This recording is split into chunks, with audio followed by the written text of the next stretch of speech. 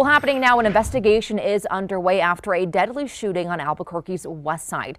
Details are limited, but here is what we know. Around 4.30 this afternoon, officers were called to the intersection of Alameda and Corrales for a shooting.